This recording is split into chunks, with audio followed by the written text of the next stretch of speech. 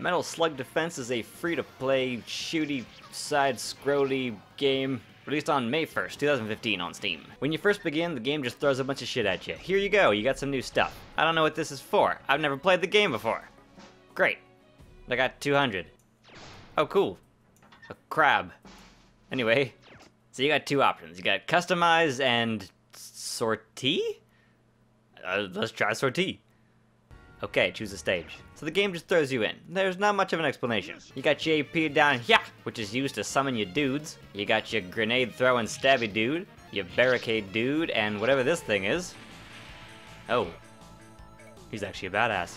Within the first 10 minutes, there's actually a huge variety of maps. You get rewards occasionally between fights, and it gets hard pretty quick. Insert. Oh, and there's a versus mode. There isn't much to the game, but overall, Metal Slug Defense feels pretty good, and from what I've watched on YouTube, it gets pretty intense. So there it is, my first first impression review. If you like this format, let me know. If you don't like this content, let me know!